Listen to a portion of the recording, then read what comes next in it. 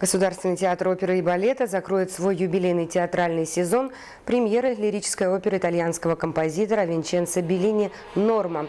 Уходящий сезон был ярким и насыщенным такими премьерами, как «Сивильский цирюльник», «Тейта Бит», гастролями и оперным фестивалем. 30 июня ценители искусства увидят, постановку «Нормы» в концертном исполнении.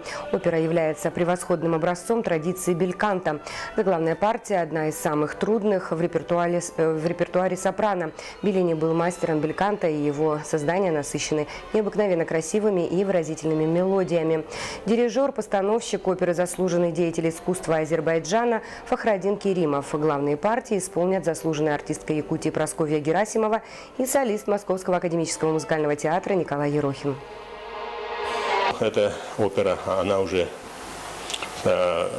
как говорится, э, исполняется уже более 180 лет. Впервые она была исполнена в Риме, в Ласкало в 1831 году. В этом году попробуем его исполнить в концертном исполнении.